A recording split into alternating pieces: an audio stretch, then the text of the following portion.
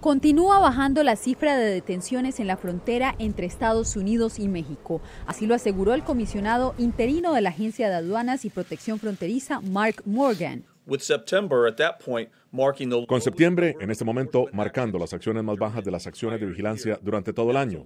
Y eso fue un poco menos de 2.000.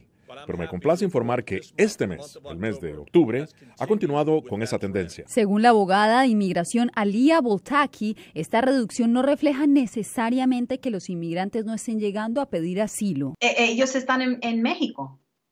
No de que ha bajado la, la cantidad de personas llegando, pero anteriormente personas fueron al CBP y pidieron asilo ahí por la frontera Ahora no, ahora ellos van a buscar una manera de entrar sin caer con inmigración. Morgan aseguró que la crisis en la frontera continúa y criticó al Congreso por no tomar medidas al respecto.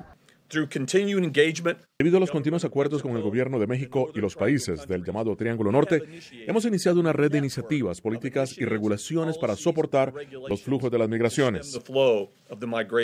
Según esta abogada, ninguna de las estrategias logrará desalentar a los inmigrantes que huyen temiendo por sus vidas. Realmente no pienso que las personas que están pidiendo o buscando ayuda y protección de los Estados Unidos van a bajar. El comisionado afirmó que el muro que hay en la frontera es el resultado de un esfuerzo de infraestructura que existía antes de esta administración, dando a entender que no se han construido nuevas fases, algo que contrasta con lo afirmado por el presidente Donald Trump. Jasmine López, Voz de América, Washington.